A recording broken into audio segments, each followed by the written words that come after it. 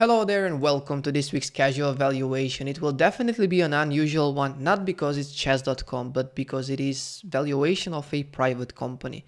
That means we don't have any financial statements to look into, no balance sheet, income statement, or cash flow. There is no share price movement to look into for the last 3, 5, 10 years. There is absolutely nothing. So basically what we need to do is do some research to understand how the company makes money, or in this case, how the website makes money and come up with some assumptions and value the website. Now, the reason why I mentioned website is because chess.com is being owned by chess.com LLC, but the company itself has a lot of other stuff that are valuable. First of all, they recently acquired Play Magnus that comes with Chessables, and they have ChessKid. They have significant presence on social media such as YouTube, an account with a significant number of subscribers.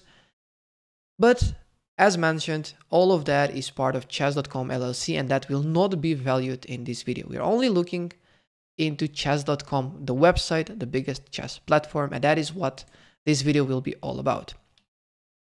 So how does a website make money of this kind? Well, it makes money from its users, that's quite clear. And I have this fairly simple overview that I think is a great starting point. What we need is we need to understand the number of active users need to come up with a number on that. Then we need to divide those between free and premium users and as each one contributes differently to the value of the website. So where do we start? Where do we all go to when we have a question and we would like to get the answer? Of course, the answer is Google. Now, the first thing that I got when I tried to find the number of users was, in as most cases, Wikipedia. Now, the Wikipedia mentions that there are 93 million plus users. This is a very high number, um, and I don't think that this number can be trusted for two reasons. First of all, it doesn't mention whether this is a total number of users or active number of users, and it's very likely if it is correct, the total, but that's not what we're looking for. The second reason is there is no source. I mean, anyone can change anything that's on Wikipedia, so in this case, we don't know who plugged this number in. So I thought, well, maybe chess.com has some information that we can use. And I searched for chess.com, and if you take a look at the first result, that is a sponsored ad from chess.com, that says meet 40 million chess players. Now you can already see that this is much lower than the number from Wikipedia, so that is quite clear that was not correct. The second result is chess.com, where it says there are over 50 million members. And both of these are information coming from chess.com. So if someone from the marketing department is looking into this, it might make sense to adjust the first uh, result, the advertisement that is probably on auto autopilot since the time chess.com had 40 million players. Um, or or it could be that there are 50 million members, but there's this gap of 10 million is 10 million players who just don't want to meet you. I don't know, maybe that is the case. So what is the correct number? Of course, between two, very likely it's the second one. Probably that is the more up-to-date one. Can these numbers be trusted? I think that is the case, but that doesn't mean that all of these users are active. Some of them log in every day, some of them play once a week, some of them play once a month. It's not really a, good estimate for the active members. So what makes sense to do next? So I thought, well, so far what I have is is great to share with you, but not really usable for the model. So I went a completely other way. One of the numbers that is available on the chess.com website is the number of players that are active at that moment, so the number of chess players that are playing a game. And I noted that number down at different times of the day, and I noticed that, of course, sometimes it was as high as close to 300,000, sometimes it was closer to 150, but the average was 240,000. So if you just check the number, very likely it will be around that. But that doesn't mean that those are all the active members, those are the active players at that moment in time. And if I take a look at the poll that is on chess.com's forum, there was this, and it's an old one, but I don't think um, it's significantly changed in any direction. The average time that is being spent playing or studying chess, it is around an hour a day. Basically what it means if I combine the two types of information is at the moment there are 240,000 players online. In an hour there will be 240,000 new chess players. In an hour there will be 240 new and so on. Basically the number of active players in a given day is close to 5.8 million. This is just one way that I thought was more reasonable than taking any of the information that are publicly that is publicly available because this, in my opinion, is more accurate. Now, we have something to start with, right? We have the total active users a day. Now we need the split between free and premium. Now you see, I already have filled that in here. The, re the way I estimated that was I looked into a couple of tournaments that are hosted on chess.com. And if you're a premium user, you get this flare. It is optional, an icon close to the name that kind of differentiates you from the free users. And looking at the percentage, it was somewhere around 10 11% of, of the participants that were premium users. On the other side, there could be premium users that have decided not to publicly um, differentiate from the free users. So I use the 12% as a reasonable estimate. Would I be wrong? Absolutely. What that means is that on any given day, there are close to 5.1 million free users and close to 700,000 premium users. Now, each one, as we know, contributes differently. If we take a look at the premium users, that is the easiest one to estimate as the packages, the price, the prices are at least out there. We can see we have different plans. Um, and the prices, of course, in my case are in euros because I'm based in Europe. So the average subscription is probably somewhere in the middle. I can imagine that majority are using the, the, the cheapest version. Um, if that is the case, then it depends whether someone bought it on discount or not. It could be as low as 4 euros, close to $4 and 7 on the high end. So I used the $7 as a as an estimate of the average revenue that is brought by a premium user on average. Now the ads are a bit more tricky to estimate because of course it all depends on how many ads are being shown. Um, so far, looking at chess.com, there are not that many ads.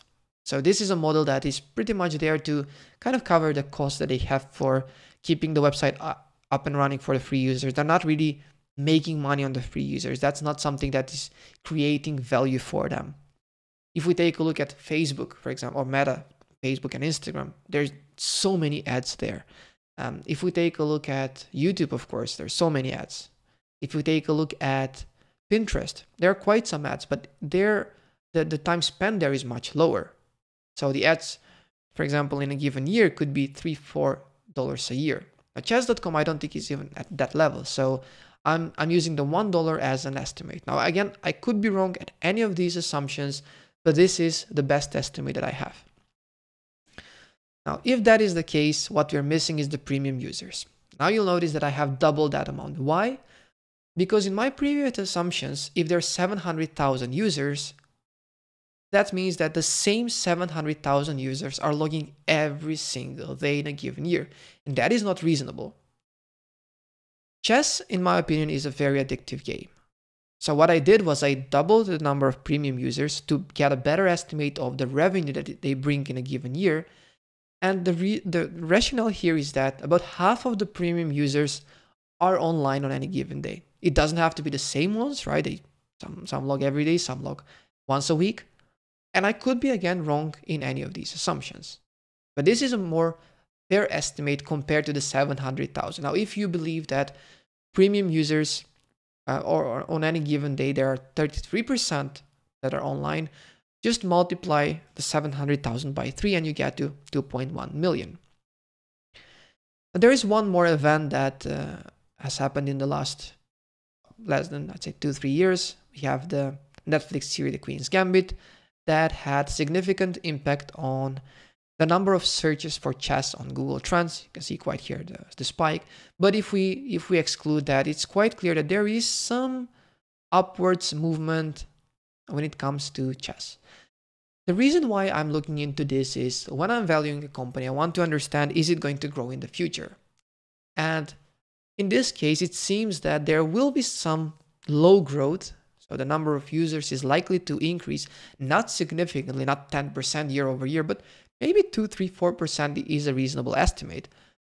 So when I'm looking into chess.com as as a website, I want to understand are they going to get more revenue in the future or is it a completely mature business in a way that this is it this is as far as they can go? And from now on it's just continuing the same business model over and over again bringing the same types of revenue. And i don't think that is the case this is how the valuation the summary looks like. So first we estimated the number of users. We got the free users. We know the revenue that they bring close to 5.1 million a year. Then we have the premium user subscription. The revenue that they bring in 116 million. So if we combine the two, we get 121 million, but that is the revenue. They have a lot of expenses to cover. First of all, of course, there's hosting when it comes to keeping the website up and running. There are some support functions such as finance, legal, HR, marketing, although marketing, I think they need to step up a little bit. You know what I mean? But then there's also, for example, um, more technical people who are looking into the, the code in the backend. Then there's the streamers who are also being sponsored by chess.com. And of course, that's rightfully so because they do promote their website. And if we take a look at all of these expenses, right, if we subtract all that, we get to the profit, of course, including taxes, we get to the net profit. Normally, for a company that is, for example, in manufacturing, the net margin would be 5 10%. If we take a look at service companies, if we take a look at software companies, it tends to be higher 20 25%. And I think chess.com is within this range. So if that is the case, then the estimated yearly profit is somewhere around 24 million. Now, how stable is this? How mature company it is? I think that, um, as I mentioned before, chess is fairly addictive game, and in, in that sense, I cannot imagine that somehow suddenly 30% of the members are have stopped playing. Um, and also, if we take a look at the Google Trends, I think that it will continue in kind of a healthy, growing direction. Hence, I've used a multiple of P of 14 that is more reasonable for a company that is at this stage. That gives a valuation of 339.3 million. That is the value. I want to point out that we've used quite some assumptions, and that is what I think is reasonable but you can come up with your own. This is a fairly simple model and you can try to do this as an exercise. Now, let's take a look at a few different scenarios. The first one is a bit of a lower valuation based on, basically we're, we're assuming that there are not that many premium users or that many of them are being online almost every day, that there are not really many that are not active. Um, and if, if that is the case, and if the average subscription is $6 instead of um, the 7 that we had before. And if they're not that profitable, then we get the valuation down to 150 million. So this is just um, a simple exercise to show the sensitivity that it can. My assumptions are my assumptions, but if they're significantly wrong, the valuation could move in either direction significantly. Same in, in the third scenario, if they're more profitable and they're expected to grow much much faster than I'm anticipating, then the value would be much, much higher. Now, there was a, an event that has been discussed a lot, and I want, don't want to go through that, the, the Hans Niemann lawsuit, but I want to point out that there was an information there. Multi-billion dollar behemoth chess.com LLC. Now LLC, not only the website, but everything else that we mentioned. The chess.com is, in my opinion, what's most valuable there, and I don't think that this is correct. Multi-billion dollar, that means at least 2 billion. And if I even use the most kind of optimistic assumptions, I, I cannot justify a valuation even close to a billion.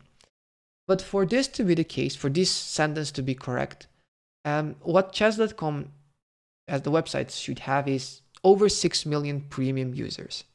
And that means that if we reverse engineer the formula, that means that only 14% of the premium users are online on any given day and taking into account uh, the addictiveness of the game, I don't think that is that is the case, but I could be wrong. And if, and I'll, I'll go back to the valuation slide because I think this is the most valuable one, um, at least the outcome of the whole exercise. Um, if, if any of you has more information regarding any of these assumptions, um, if you're working at chess.com, of course you cannot share that, but if you want to reach out and to even point out, hey, you're significantly wrong with something, that's absolutely fine. If you're a streamer and you're looking into this and you have better estimates, feel free to share that. I mean, valuing a private company is a difficult task with information available, not to mention with with without any of the information. But I think that it's quite a good model that we have so far. It is simple to use. It can be tweaked based on um, based on new information. And uh, as always, I hope that you enjoyed this video. If you have any questions or comment, please do let me know and I'll see you in the next one.